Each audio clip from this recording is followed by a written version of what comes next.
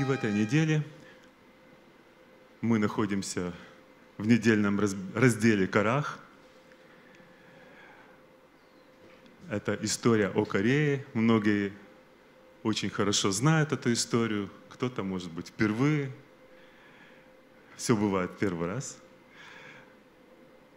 И это очень поучительная история э, для всех нас, э, как назидание, что бывает с людьми, которые ведут себя нечестно, которые посягают на что-то, то, что им не принадлежит. И начинается с того, что Корей – это брат Моисея и Аарона, двоюродный брат.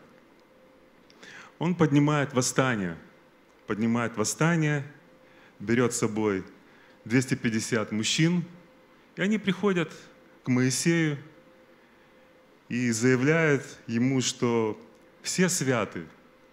Почему вы здесь управляете всем? Э, очевидно, имея претензию на то, что э, Моисей является главом, главой, вождем э, народа Израиля – но Моисей, он сам себя не избирал, и, как вы помните, он множество раз отказывался от того, чтобы исполнять свою миссию. Если я не ошибаюсь, это было пять раз, и Бог э, очень убедительно объяснил ему, что это он избран. И когда э, Корей придавил такое такую претензию к Моисею, для него это было очень сильным ударом, очень сильным эмоциональным ударом. И мы видим в Писании, что когда он услышал эти слова, он просто упал на свое лицо, настолько ему это было больно, настолько э, это его ударило эмоционально. Хотя мы знаем, что Моисей, он уже прошел много испытаний, он э, кратчайший человек на земле. Ну, не, он просто не выдержал такого удара, и тем более от своего брата. И, судя по всему, э, потому что происходило далее, Корей, конечно же, очень тщательно подготавливал весь этот бунт. То есть была тщательная подготовка, то есть для того, чтобы убедить 250 э, старейшин, глав начальников общества, призываемых на собрание, люди именитые, да, то есть это люди, э, скажем так, опытные, эм, имеющие понимание различных ситуаций. И мы из Мидраша знаем то, что э, вообще-то Корей, он был очень-очень богатым человеком, в современном мире его бы назвали олигархом, очень-очень богатый. Но его, ему этого было мало, и он, понимая, что вот э, богатство, оно не дается просто так, да, раз он такой богатый, то он имеет какую-то особенную миссию, и он решил, что нужно что-то менять, что все неправильно то, что происходит. И он поднял бунт, он поднял бунт, э, в каком-то смысле э, это чем-то похоже на Октябрьский переворот в 17 году.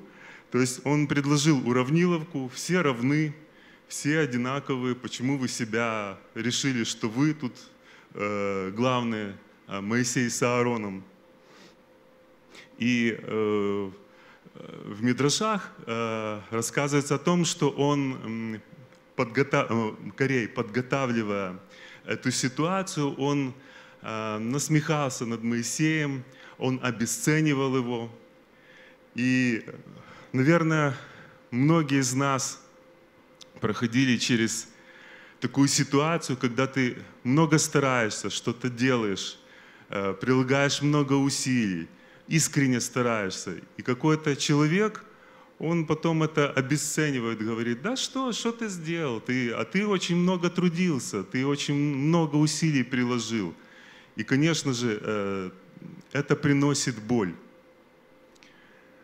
Почему такое поведение? Почему? Что? Из-за чего так? И я так понимаю, что это зависть. Э, ну, если кто-то меня спросит, Игорь, а почему ты так решил? Почему? Здесь же не написано, что э, Корея завидовал. Э, и это мы узнаем из 105-го псалма, из Священного Писания, 16 стиха. «И позавидовали в стане Моисею и Аарону, святому Господню.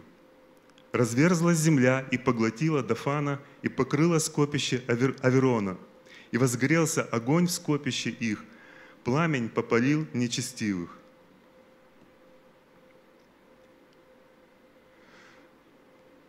Серьезное наказание ожидала Корея. И Моисей сказал, хорошо, э, вот что сделайте, Кореи, все сообщники, возьмите себе кадильницы, положите огня, и так далее, и так далее. И, и Господь покажет, даст знак, даст знак, э, Господь покажет, кого Он избрал. И далее происходит весь этот процесс, и уже вот это, все люди пришли со своими кадильницами – и тогда Бог говорит Аарону и Моисею, чтобы они отошли.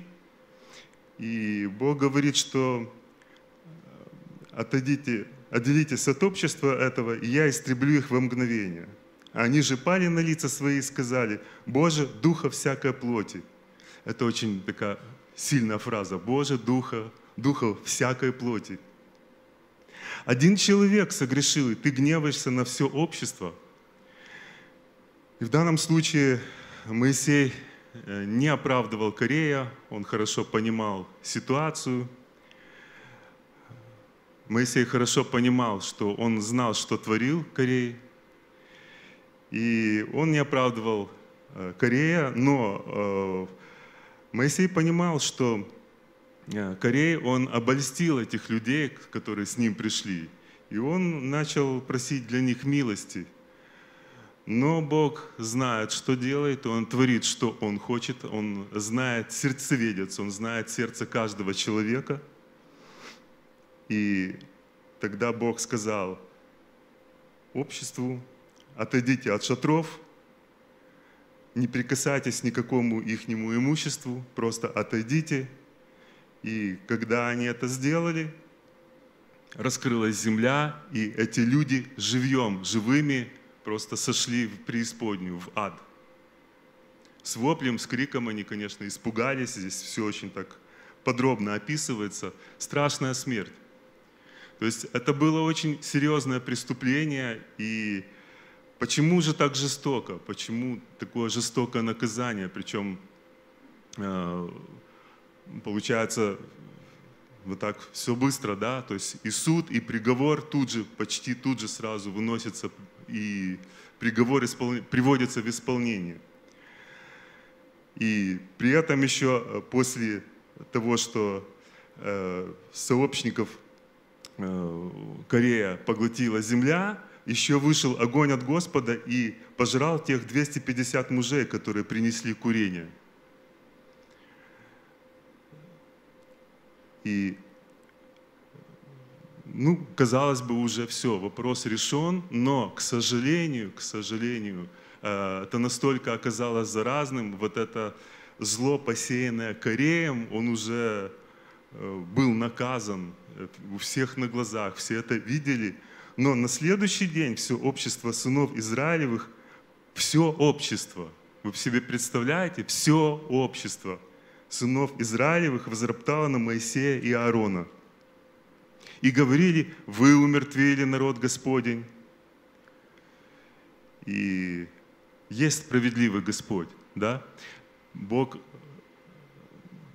так, значит, вам мало, да? Вы еще не получили убеждение, что Моисей и Аарон избраны Богом. Вам этого мало? Продолжаем воспитание. Э, воспитание, опять же, довольно-таки суровое. И начинается эпидемия, эпидемия, которую потом останавливает Аарон. Он бежит э, с кадилом, встает, становится между живыми и мертвыми и останавливает эту эпидемию.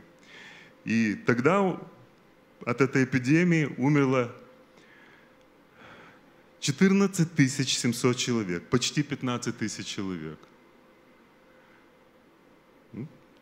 После того поражение прекратилось, когда Моисей заступил народ. Э, ну, дальше уже все, все были, получили очень сильное убеждение, что Моисей и Аарон действительно избраны Богом.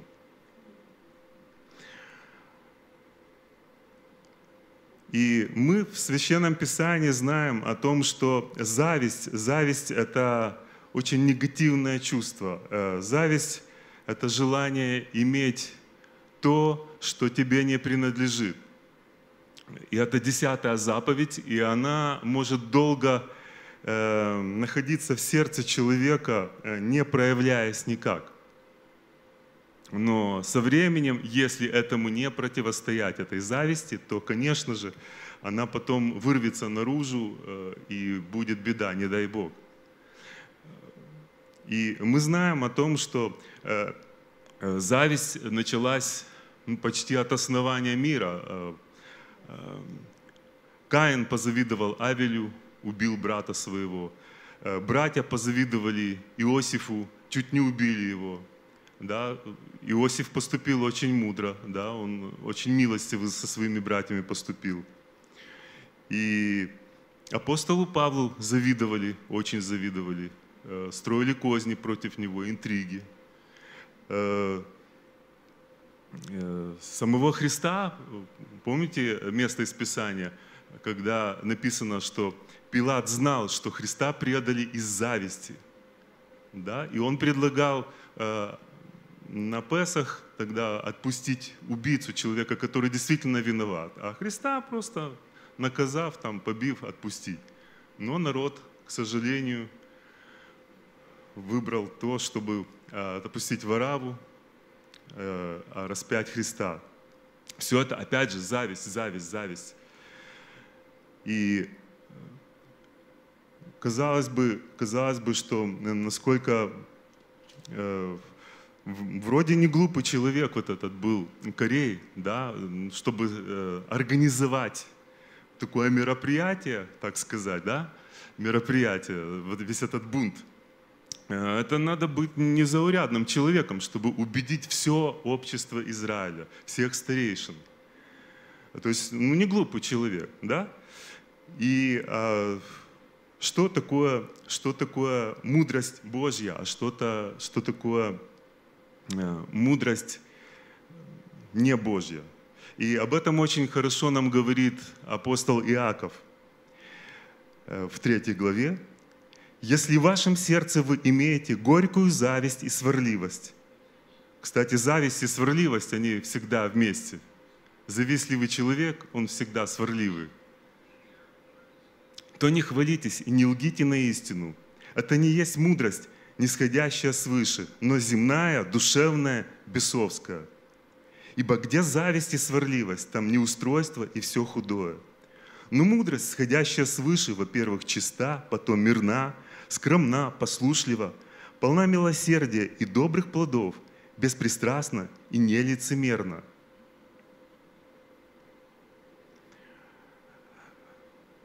Как нам быть? Ведь зависть, ну, я не знаю, как у вас, ну, у меня иногда проявляется чувство зависти.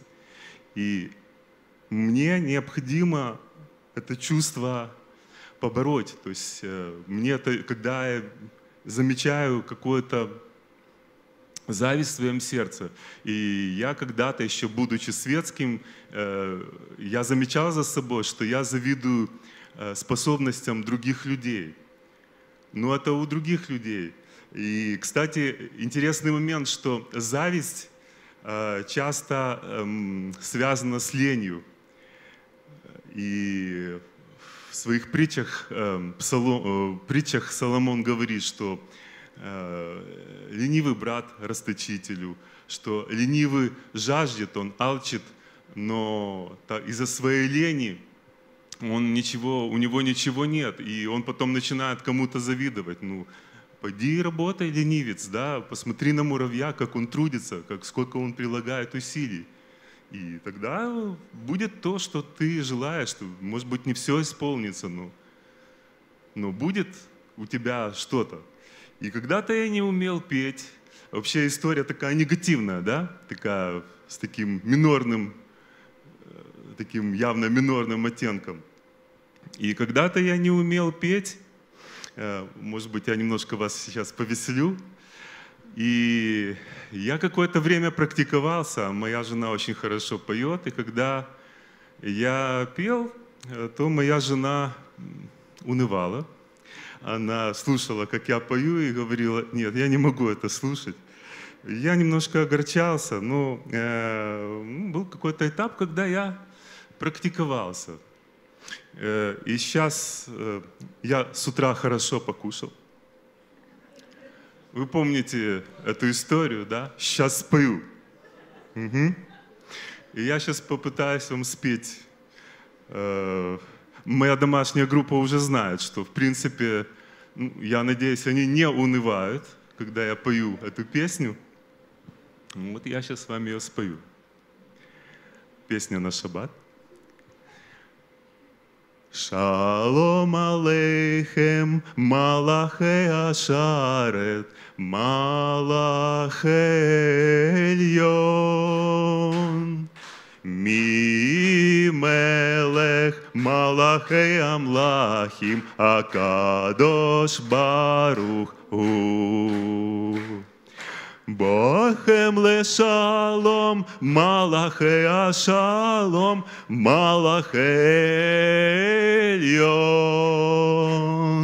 Ми мелех, Малахе Амлахим, Акадош Баруху. Спасибо. Я рад, что никто не унывал, когда я пел. Но когда-то, когда-то, к сожалению, такое было. И э, в Библии много говорится о том, что э, бывает огорчение приходит. Помните 72-й псалом, когда царь Асаф говорит, «Как благ Бог Израилю, а я едва не поскользнулись ноги мои, я позавидовал безумным, у которых благоденствие». Но потом Бог ему показал ситуацию настоящую, как все происходит. И э, в завершении я хочу прочитати начало 36-го псалма. Е, Мені дуже подобається е, українською мовою. Це Псалом 36. Не роздратовуйся на злочинців і не заздрі тим, хто чинять беззаконня, бо вони скоро будуть скошені, як трава, і зів'януть, як зелене зілля.